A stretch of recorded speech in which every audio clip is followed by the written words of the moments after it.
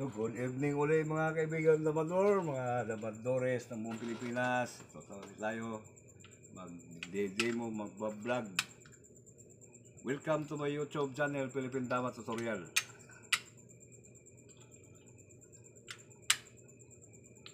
Dahil sa comment section, sino nakaraan, ang daming mga nagko-comment. O nakapag-upload na tayo kay yung request dati ni Ronald Gabiana. Naman, may mga bago na namang uh, nagko-comment dito. Pero bago lahat, bago tayo mag-umpisa, huwag niyong kalimutang i-click ang notification bell at i-likes at i-share at i-follow yung bago kong page yung JM Willie Tukuran. Saka paki-subscribe na rin sa bago, sa bago kong channel itong Philippine Dama Tutorial. Start na tayo kasi medyo gabi na. Ito itong ano ngayon ito si Ray Aguilar. Ito dahil natin ito si Ray Aguilar. Ito Master pa request 115 pesos to 14 ito. Pala. Yan. Gusto 14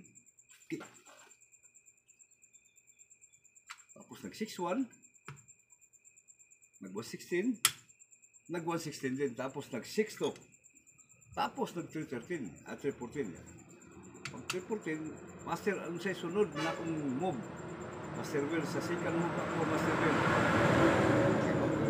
babalik natin na ulit natin ha Manon siya, tapos 214, nag 61, nag 116, nag 116, nag 62, nag 314. Yan. Itong 314, tama rin to, okay rin to. Ito talagang base counter ito sa ganitong linya. Ang gagawin mo lang naman dito, magpa 5 buwan ka lang, yan lang. Ngayon, tuloy natin ha, pag halimbawa nag 1613 siya, aabanti ka rito sa 1613. Ngayon, may 5-1, may 7-3, may 10-6, tsaka may 11-6 isa-isahin ko lang. Halimbawa ngayon, pag nag-5-1 siya ganyan, abanti ka agad dito sa 8-3 yan. Para may kombinasyon ka agad na ganyan, no? Yan. Ibig sabihin, tatabi siya rito sa gilid ito. Pag tabi niya rito, dito ka. Ngayon, may 9-5, may 10-5, may 10-6, may 11-6. Yan. Isa-isahin ko lang ha. Pag halimbawa ngayon, pag na 9-5 siya, ganyan, magsi-6-1 ka lang. Siyempre, pag 5-1 niya, atlas ka lang ito, ganyan ang posisyon niya. Yan. Ngayon, may 11-6, may 10-6, may 1-15, may 10-5. Pag halimbawa ngayon, pag nag-11-6 siya, kasi ang plano niya na hindi ka pwedeng patirahin sa 6-1 kasi may ganyan, no? Dito ka lang sa 9-5 yan. Ngayon, may 1-15, meron ding 10-5. Pag halimbawa naman, nag-10-5 siya, si plano talaga niya hindi ka pwede patirahin sa 5-1 kasi may ganyan. Saka yung 6-1, hindi rin pwede, may ganyan. Pero dito sa ganitong posisyon, pwede mo nang talunin ang itim rito. Ito lang yung counter niya, ito lang. Ito yung pinakasikreto. Dalawa to ha, itong, ganyan, itong 214, saka itong 115. Isa-isahin ko lang ha, pag halimbawa ngayon, nag-115 siya kain, ganyan. Ito yung kasunod ito. Yung kain dyan, tapos ito na. Ayan, kitang-kita ka gano, yan o. Ay, babalik ko lang ha. Basta tandaan nyo palagi yung counter to. Pag dito, ito, di ba ang kinain to ito? Ngayon, pag dito naman siya, ganyan, kain, ganyan, kain. Ganun pa rin gagawin mo, ito pa rin. Ito ulit. Okay, babalik ko lang. Basta tandaan mo palagi, Mr. Ray Aguilar, yung counter sa ganitong klaseng opening.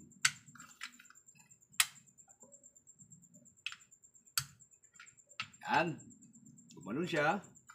Nag 6-1 ganyan. Nag 6-2. Nag 3-14. Yan. Ito lang, 5-1 lang. Ngayon, pag nag 16-13, tatabi ka rito. Ganyan. Pag dito, ay, babalik ko lang ha. Pag dito, ganyan. Ganyan. Atras ka lang, ganyan. Yan. Gumanon siya. Para hindi ka maka 6-1. Kasi ganyan, oh. 9-5 ka. Kaya natalo siya dito sa 10-5 kanina kasi mayroon yung ganyan. Ngayon, pwede siya umakyat dito sa 115 to. Pag 115 naman niya, magpa 5 ka lang yan. Yung, kasi yung kasunod, ito na oh. Kaya ang gagawin niya, magsi 6-1 siya. Pag 6-1 niya, Ang karamihan kasi dito, nag-116 yan, na, nauwi sa bad move to, yan. Ang un, ito, sa ganitong posisyon, pwede mo na talunin kagad ang itim dito. Ito na yung sikreto niya, ito. Kakain siya dito sa 14-4, tapos to 15 ganyan, tapos 10-5, yan. Kain ka dalawa rito. Ito lang oh. Siyempre, kakain pa siya. Tapos, ito, obligado dalawa kaagad yan oh. Ngayon, di siya pwede mag 16 si Megan yan oh. Maubo siya. Aakyat siya rito sa 214, tapos nanakaw ka rito. Ito lang. Ngayon, pag sumabay siya rito, si plano niyang nakawin yung isa mo, itong dama mo, ilaga, ilalagay mo lang to sa 11, 13, ito lang. Siyempre, pag halimbawa, pag halimbawa kaka- kakain siya, may 13-3. Yan, ibig sabihin, matatanga ito. Ka, ngayon, ang gagawin niya ngayon rito, pag dito mo sa kabila kakain, sa 8-14, ganun pa rin gagawin mo eh. Ganun pa rin. Okay, yan lang ha. Last moration na, ibabalik ulit natin.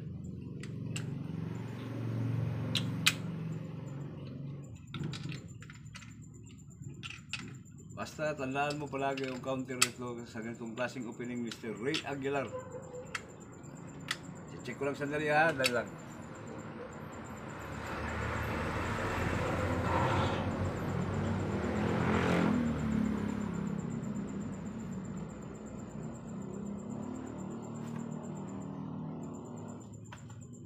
Balik ulit natin. Yan.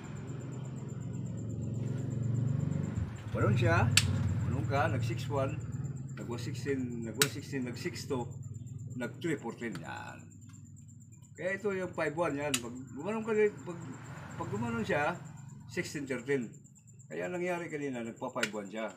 Kaya pwede rin siya mag 7-3, o pwede siya mag 10-6, mag 11-6. Tuloy natin ha, pag 5-1 niya ganyan, yan, para tumabi siya ganyan.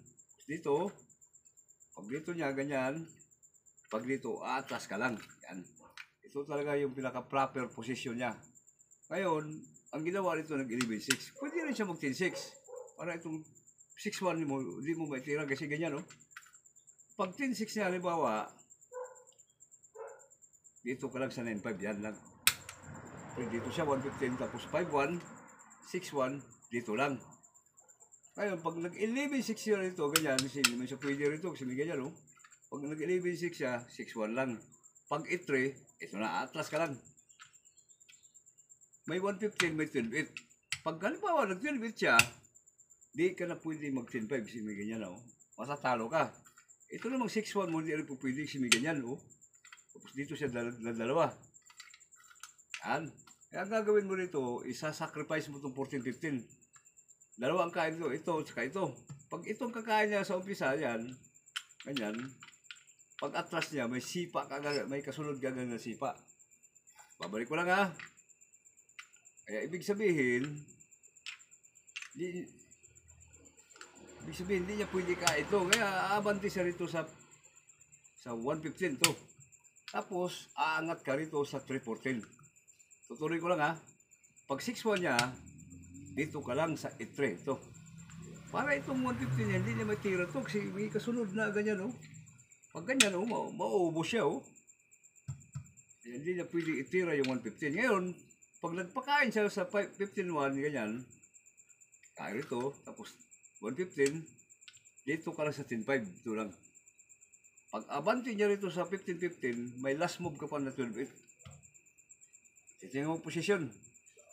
Okay. Nasagot na natin itong comment dito ni Mr. Ray Aguilar, yung 115 to 14, 6-1. Pero bago lahat, bago tayo magpaalam, huwag yung kalimutang i-click ang notification bell at i-subscribe ang bago kong channel, ang Philippine Dama Tutorial. Saka Subscribe nyo lahat yung mga nagbablog sa ganitong laro. Saka yung dati kong channel, eh, yung MP Sport Channel. subscribe nyo, pag, uh, paki-likes and share dito sa bago kong channel, yung Philippine Dama Tutorial, tsaka paki-follow na rin sa page ko na J. Willie Tukuran. Okay, shout out ulit tayo ng mga ilang tao. Shout unahin natin i-shout out to si, itong gabi na to, si Ray, Aguilar. Ito, ito yung nagpapa-shout out eh. GR Castillon, Gilbert Enoch, LJ Rehente, Edwin Cortez, Edwin Lakangan, Aljon Kagaanan, Efren TV Channel, Arnel Maragmag, Pinoy Drama Channel, Yapox TV, Ruben Gaom, Topir Barili, Michael Cando, Rodel Campomanes, Adrian Jordan, saka itong channel nila ni Dr.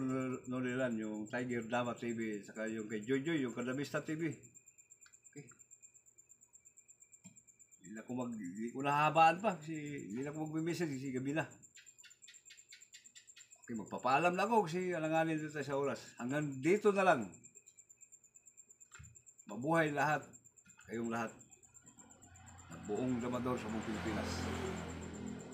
Maraming salamat.